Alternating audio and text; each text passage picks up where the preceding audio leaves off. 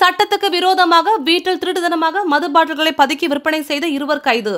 ஐநூறு மது பாட்டில்கள் பறிமுதல்.